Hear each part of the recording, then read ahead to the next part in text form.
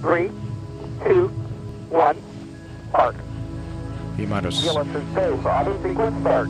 handoff to Atlantis' computers has occurred. Solid rocket booster nozzle steering check and work. 20, Firing chain is armed. 15, Go for main engine start.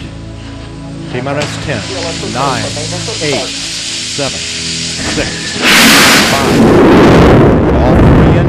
engines and burning. 2, 1, 0. And liftoff, the final liftoff of Atlantis. On the shoulders of the space shuttle, America will continue the dream. Roger roll, Atlantis. Houston now controlling the flight of Atlantis. The space shuttle spreads its wings one final time for the start of a sentimental journey into history.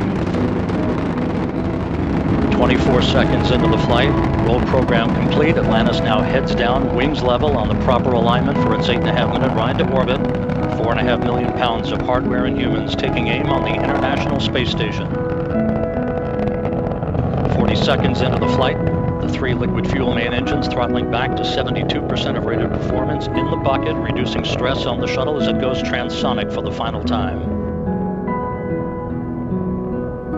Engines now revving up, standing by for the throttle up call.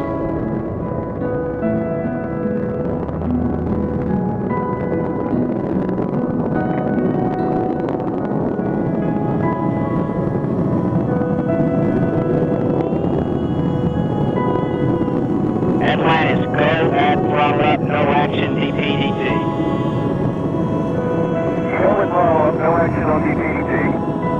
Call from Capcom Barry Wilmore and transducer, instrumentation only, no action required.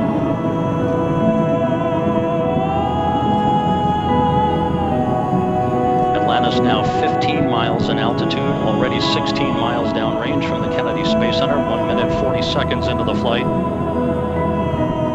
Atlantis flexing its muscles one final time. Atlantis traveling almost 2,600 miles an hour, 21 miles in altitude, 24 miles downrange, standing by for solid rocket booster separation.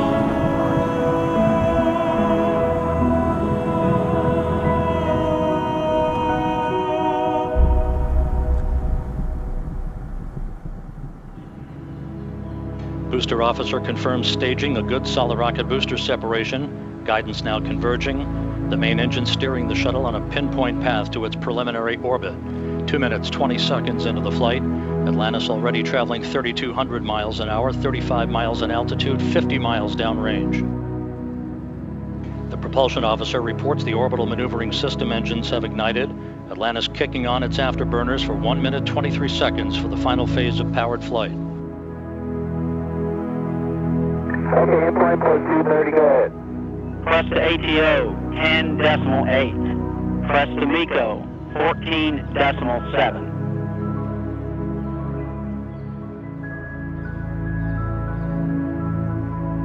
Five and a half minutes into the flight, Atlantis traveling 7,700 miles an hour, 315 miles downrange. Atlantis, single engine, ops 3. Single engine ops three.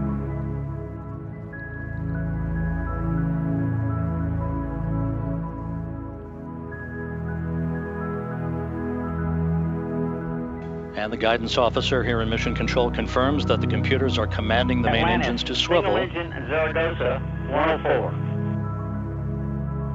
Single engine Zaragoza to 104. We've rolled to a heads up position now, providing better communications to the tracking and data relay satellite system as Atlantis heads uphill. Six minutes, 20 seconds into the flight. Atlantis, press to MECO. Press to MECO. Eight minutes, 15 seconds into the flight, standing by for main engine cutoff. That'll be followed a few seconds later by the separation of the external fuel tank.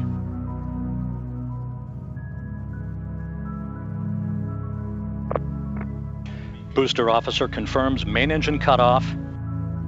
For the last time, the space shuttle's main engines have fallen silent as the shuttle slips into the final chapter of a storied 30 year adventure.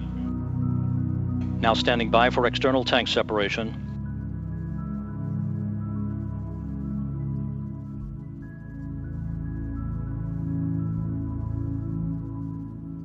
Atlantis off the tank.